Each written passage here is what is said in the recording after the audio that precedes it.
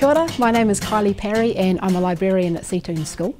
I'm one of the people that supports literacy in the school and every class in the school comes and visits me for half an hour a week.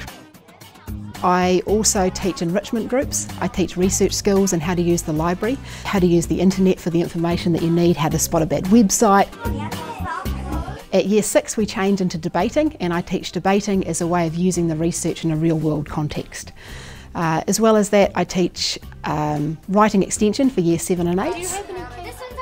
I start every day at half past seven and I have children at my door at eight and we're open every day at lunchtime uh, from 1 to half past 1. Uh, winter I run making activities, uh, but even in summer the library is always full.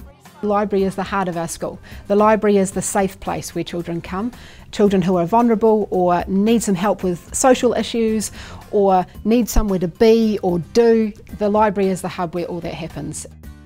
All the research shows that a qualified librarian has significant outcomes for literacy for children, really noticeable ones. It would be wonderful if we could be paid over school holidays. It would be lovely if our pay recognised the qualifications that we need to do the job and our experience in this role. At the moment we're on a relatively low cap salary so even if the school would like to recognise what we do financially, they're unable to. Librarians go into work every day and we change lives and that's a career that matters.